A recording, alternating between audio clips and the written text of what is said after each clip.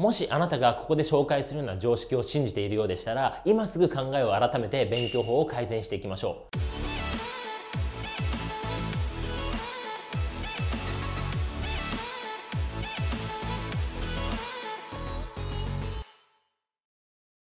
こんにちは。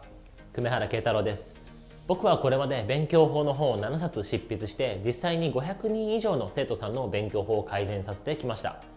そんな僕から見ると世の中にはやばい勉強法が多すぎます。ここで言うやばい勉強法というのはどんな勉強法かというと学校の先生や大学生 YouTuber がよく進めているけれどもあまり効果がないような勉強法。それからコストパフォーマンスがあまりにも低くて効率が悪い勉強法。さらにはただの自己満足に陥ってしまっているそんな勉強法を指します。というわけで今日は信じてはいけない現代文の常識トップ3をお送りしていきます。もしあなたがここで紹介するような常識を信じているようでしたら今すぐ考えを改めて勉強法を改善していきましょう。効率の悪いやり方で勉強していくのは穴の開いたバケツに一生懸命水を入れているようなものです。努力しても努力してもバケツに水がたまらないのと同じように成績も全く上がりません。そんな状態は絶対嫌ですよね。これから話す勉強法を自分がしていないかチェックしながら見てくれると嬉しいです。逆効果信じてはいけない現代文の常識トップ3第3位は読書をすれば現代文の力がつくです。僕はこの仕事を始めて10年以上にもなりますのでこれまで何度も質問を受けてきました。現代文を得意にしたいんですが読書ってした方がいいですか？これまでですね8万回ぐらい世間でね言われてきた言葉だと思います。なんですけれどもここで断言します。なんとなく読書をするだけでは現代文はできるようになりません。確かに現代文が得意な人は読書好きが多いです。ただそういう人は小学生の頃から本を読む習慣があった人たちなんですね。年に数十冊トータルでは数百冊以上の本を読んできたからこそ自然と読解力が身についたのであって現代文が苦手な高校3年生が何冊かね本を読んだとしても点数は全く伸びません。なんとなく読書をするくらいだったら現代文でよく問われるテーマをまとめた参考書を読んでいきましょう。こういう参考書を読んで現代文の背景知識を理解しておくだけで本文がぐっと理解しやすくなります。よく本文を読むのに時間がかかってしまって問題を解く時間が全然足りない。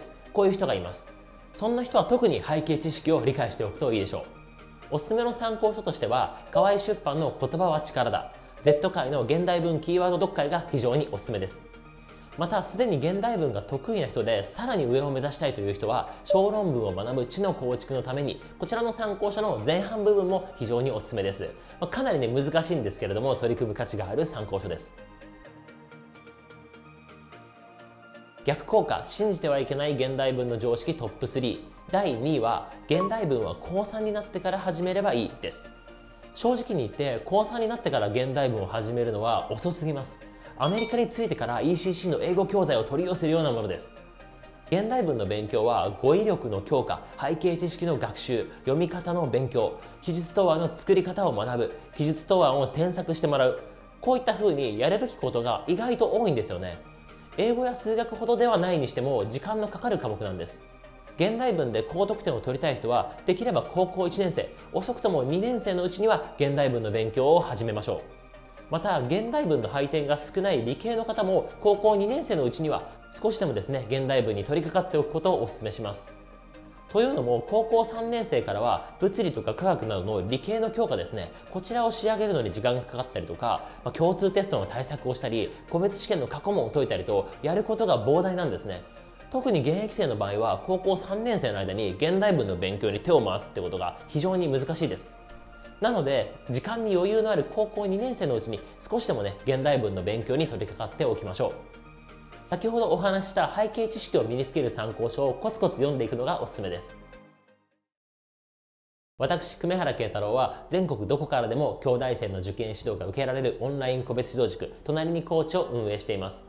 勉強のやる気がなかなか出ない。何を勉強したらいいのかわからない。そんな人は動画下の概要欄から無料のオンライン説明会に参加してみてください。逆効果。信じてはいけない現代文の常識トップ3第1位は同じ問題は解いても意味がないです。多くの人は一度解いた問題は答えを見てしまっているからもう解いても意味がない。そんな風に思っています。しかしこれは大きな間違いです。僕が受験生の頃は同じ問題を最低でも3回は解いていました。なぜそんな風に3回も解いていたかというと理由は回答の導き方をマスターしたかったからなんですね。確かに一度やった問題は答えがなんとなく分かってしまうと思います。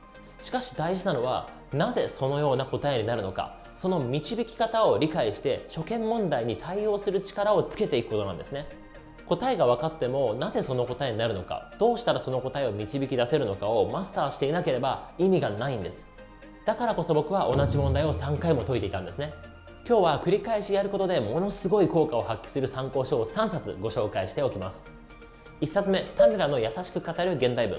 現代文が苦手な人が一番最初に取り組むべき参考書として非常におすすめです。現代文で陥りがちな間違いなんかも詳しく解説されています。2冊目現代文読解の基礎講義。現代文の読み方解き方がかなり細かく解説されています。中には難易度が非常に高い記述問題もありますので1周目はですね少し考えてから解説を読んでいく。そのやり方でも構いません。3冊目現代文読解力の開発講座。僕もですね高校時代にこの参考書をやり込みました。目から鱗が落ちるっていうね感覚。これをですね実感できるとてもいい参考書です。いかがだったでしょうか？現代文を強化したい人はぜひ参考にしてみてください。今日の内容を軽く復習しておきます。逆効果信じてはいけない現代文の常識トップ3第3位は読書をすれば現代文の力がつく。第2位は高3になってから現代文の勉強を始める。そして第1は同じ問題を解かないです。このチャンネルでは引き続き京都大学にトップ合格した僕が学校や予備校では教わらない無駄を省いた効率的な勉強法をどんどん紹介していきます。無駄な勉強をしたくない受験に失敗したくない。そんな方はぜひチャンネル登録をお願いします。それではまた次回の動画でお会いしましょう。ご視聴いただきありがとうございました。